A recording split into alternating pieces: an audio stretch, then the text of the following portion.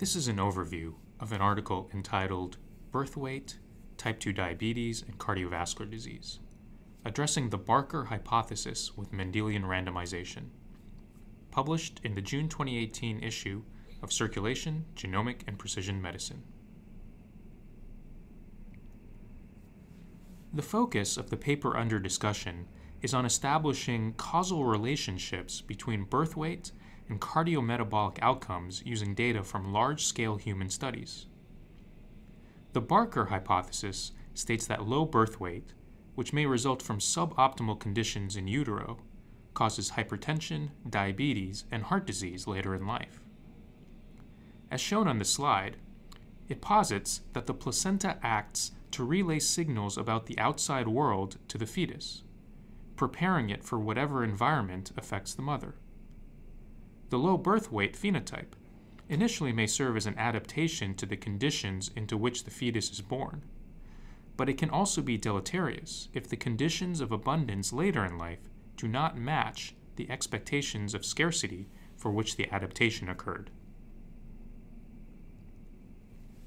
Of course, there are many environmental and genetic variables that play into this relationship between intrauterine conditions and later risk for disease. In this diagram, the postulated causal relationships are in green, and relationships that could bias the estimates of effect in which we're interested are in red. This diagram is exceedingly complex, and that's with the exclusion of some important causal contributors such as genetic variants. This complexity makes causal inference rather challenging. Mindful of these challenges, the authors of the paper under discussion first conducted an observational study in a large scale UK biobank cohort, with the sample size exceeding 230,000 individuals, carefully adjusting for some of the confounders shown on the previous diagram. But since even the most thoughtful adjustment cannot exclude bias due to residual confounding, they also implemented a Mendelian randomization study to better approach estimates of causal effects. That study was done in both UK Biobank and also in data from various large scale genetic consortia of cardiovascular and metabolic disease. A few words here about this paradigm of Mendelian randomization. It's a form of instrumental variable analysis that considers genotypes, which are randomly allocated at conception, as proxy variables for the given phenotype, in this case, birth weight. Then, instead of simply testing the association between birth weight and cardiovascular disease, and worrying about unmeasured confounders and reverse causation and other threats to causality, one can test the association between the birth weight determining genotype and the cardiometabolic outcome of interest. This approach eliminates the possibility of reverse causality, since the genotype assignment always precedes disease onset. And it also takes care of residual confounding via random assignment to a particular genotype. As a result, the resulting estimate of association tends to be a more reliable causal estimate compared to observational findings. One caveat about Mendelian randomization is that the validity of its estimates is predicated on three critical assumptions. First, the genetic variant or variants that one is planning to use as the exposure must be robustly associated with the quantity it is supposed to represent, in this case, birth weight. In the paper under discussion, the main analysis included an instrumental variable consisting of up to 46 single nucleotide polymorphisms, or SNPs, previously known to be associated with birth weight. Second, the genetic variable cannot be directly associated with any potential confounders of the relationship between the exposure and the outcome, which includes unmeasured confounders. Note in this diagram that confounders have to cause the outcome, but they can be spuriously associated with exposure and still bias the resulting estimate. This is harder to verify empirically, but the random assignment of the genotype, in theory, ensures there's no causal path leading to the confounders, if the randomization worked as intended. Finally, the genetic proxy variable cannot be associated with the outcome other than through its effects on birth weight.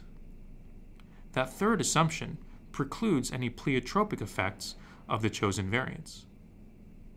The authors tested this assumption using the now standard method of Egger regression and did not see evidence that it was a big threat in the study. Additionally, the authors undertook a number of sensitivity analyses to maximize statistical power and maximize the chances of satisfying these assumptions. In this figure, we see Mendelian randomization estimates of the causal effect of birth weight on a variety of intermediate cardiovascular outcomes. From top to bottom, these included systolic and diastolic blood pressure, body mass index, waist to hip ratio, high and low density lipoprotein cholesterol, triglycerides, and measures of glucose and insulin. Each outcome was modeled using inverse variance weighted models. For most outcomes, the effect was close to zero, but for BMI, LDL cholesterol, and glucose, the effect was statistically significant. Higher birth weight was shown to cause higher BMI, but lower LDL cholesterol and lower glucose.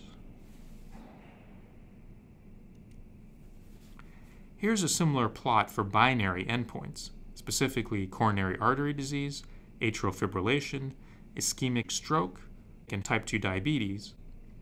There's evidence of significant causal effects on coronary artery disease and diabetes, and these effects were negative, meaning higher birth weight implied lower risk.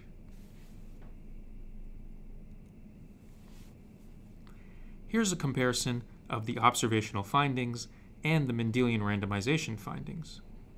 They are consistent for the traits that are in bold, but Mendelian randomization gives more confidence in the causal interpretation of these effects.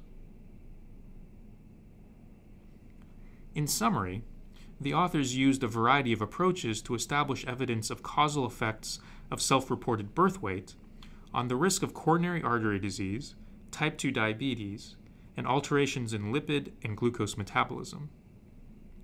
This gives credence to Barker's hypothesis, although one would be remiss if one did not also note the long list of null associations found in the study. What is interesting is that this work showed that the effect of intrauterine growth restriction is not mediated by adult obesity, but rather represents a direct etiologic effect on cardiovascular and metabolic health. This study offered a rigorous analytic approach in an unprecedented sample size, advancing our understanding of developmental origins of disease.